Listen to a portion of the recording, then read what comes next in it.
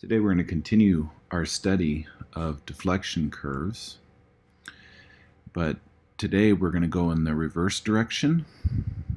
The last time we talked about this, we used differentiation to start with a given deflection curve to determine something about the applied loads and the internal forces.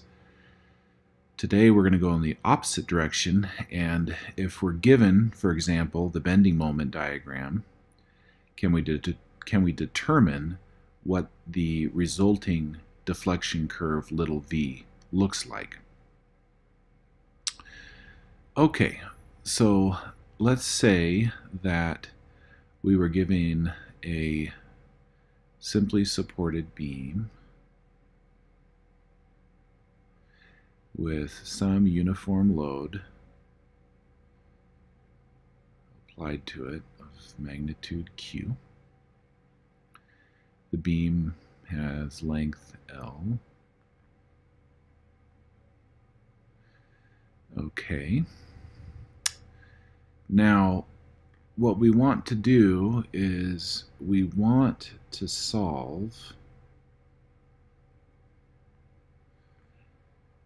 the differential equation EI V double prime equals to M for little v. Okay, so since we have the specification for the beam and its loading, we can compute the bending moment function and then integrate twice to compute little v. Okay, so let's let's write down m of x. So m of x for this example is simply ql over 2x minus qx squared over 2.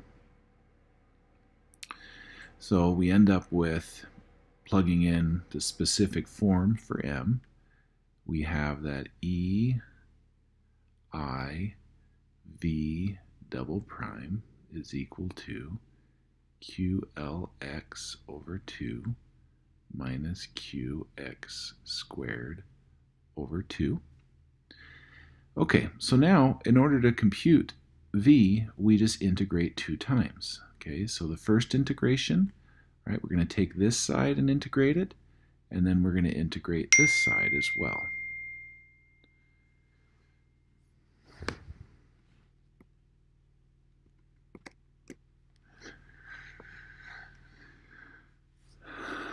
Okay, so if we integrate the left side, we get EI V prime plus some constant of integration that we'll solve for in a minute equals Q L X squared over 4 minus QX cubed over 6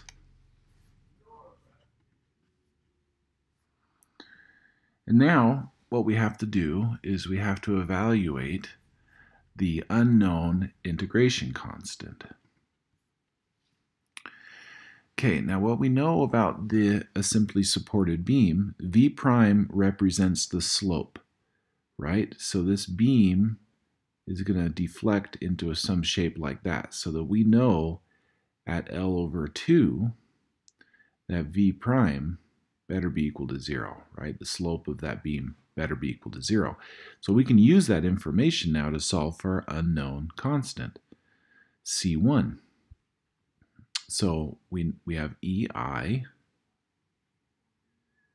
V prime, and let's evaluate V prime now at L over 2, since we know that it's equal to 0 and that is equal to, now everywhere you have x on the right hand side, you plug in L over 2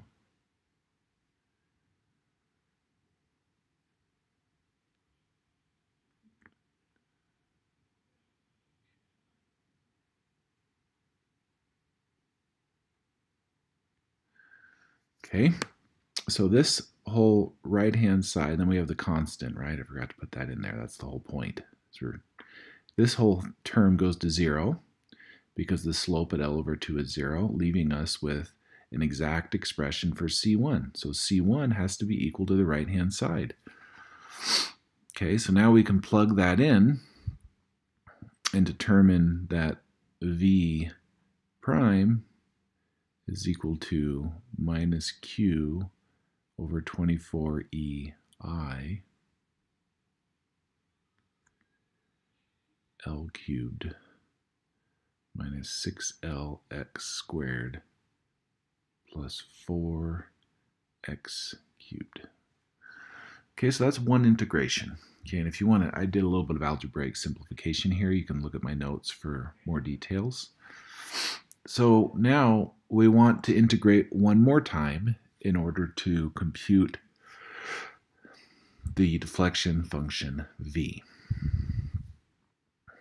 All right, so if we do that, we end up with E I V is equal to QLX cubed over 12 minus QX to the fourth over 24 minus QL cubed X over 24 plus C2. And it doesn't matter what side of the equation the, the unknown integration constant is at, it will work out either way. Okay, now in order to evaluate C2, we need to know something about V. And we know for a simply supported beam that at x equal to 0 or x equal to L, V better be equal to 0. The deflection cannot be anything but 0 because at those two points, it's supported. So we know that V, well, usually we like to take as many zeros as we can. It simplifies things. We know that V at 0 is equal to 0. So if we plug that in up here, we get that the left-hand side is 0. We also get that everything on the right-hand side is 0 except C2. So we now know simply that C2 is equal to 0. And therefore, we're done we can write down that V, our deflection, is minus Qx over 24 EI times L cubed minus